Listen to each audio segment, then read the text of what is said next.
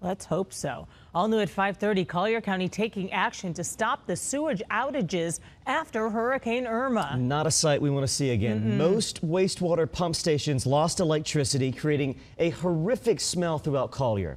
NBC2's Gabrielle Dawkins joins us now with a plan just approved by the county. Now, Hurricane Irma knocked out electricity, ultimately impacting these wastewater management pumps here, these pump stations. Now, I spoke to one woman who says she remembers the piercing smells.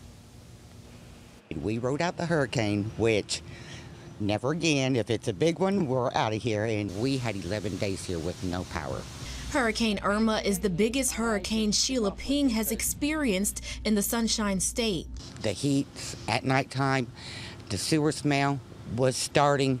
Around the corner where the houses sit a little lower, Ping says it was worse. That they could not even go out their door because it smelled so much like sewer. But work from county workers trying to get the raw sewage out of the road did not go unnoticed. We actually have a pump station around the block from us, and there were people manning that station, and they had a generator, and they were they were pumping.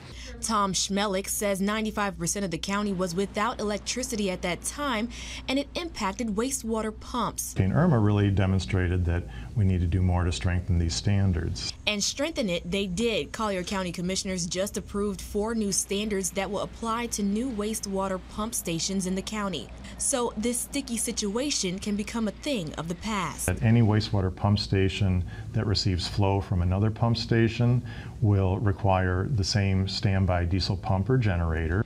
Also, all grinder pump stations are required to have a standard generator attachment. These additional capabilities that will continue to be built as development continues, uh, that job will be much easier. Ping says she's glad the floating surprises won't wash up along her street. I think that's awesome.